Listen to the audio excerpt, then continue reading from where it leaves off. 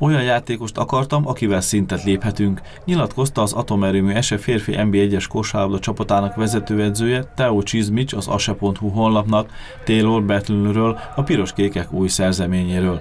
A korábbi irányítóval, PJ Hillel közös megegyezéssel bontottak szerződést a felek, a friss igazolás már a gesztenyes úton készül. A változtatásról Pavlik Ján, a klub szakosztály vezetője tájékoztatott. Kell nekünk egy jóval pont erősebb játékos ezen a poszton, ami, ami első pár edzés alapján uh,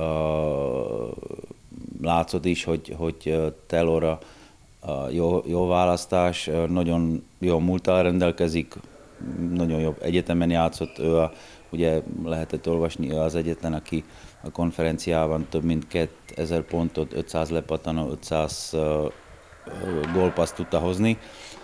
Utána jó ligákban, jó csapatoknál játszott. Tavaly sajnos uh, uh, problémája volt a vállával, kellett műteni, júniusban volt a műtet, decemberben kapott újra a zöld kártyát, és orvosi vizsgálatot, meg az MR, MR vizsgálat alapján is teljesen rendben van a válla. Teljes kerettel csak négy hónappal ezelőtt az idén nyitón Sopronban tudott parketre lépni az ASE.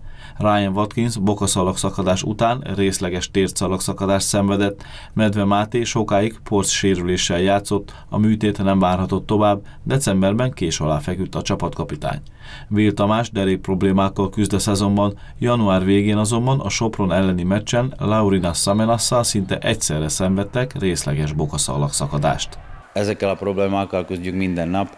Én szerintem, ami, ami tudtunk kihozni a csapatból, ez majdnem maximum, de nyilván, nyilván másnak lehet más feleménye, de mi minden nap dolgozunk keményen, és bízunk benne, hogy, hogy sikerül ezt a minimum tizedik helyet elcsípni, és utána talán, ha, ha rendben lesz a csapat, akkor, akkor tudjuk megmutatni, hogy tényleg sokkal erősebb, mert igazából nem, nem látunk eddig hogy mennyire erős ez a csapat lehet, mert nem, nem volt lehetőségünk együtt játszani.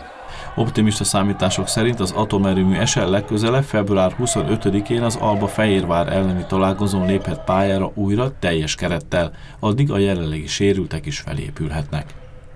Az Atomerőmű Ese férfi NB1-es kosárlabda csapata február 11-én szombaton 18 órakor a Kaposvárt fogadja itt a Gesztenyes úti sportcsarnokban. A mérkőzést a Telepaks Kistérségi Televízió másnap 17.30-tól felvételről közvetíti.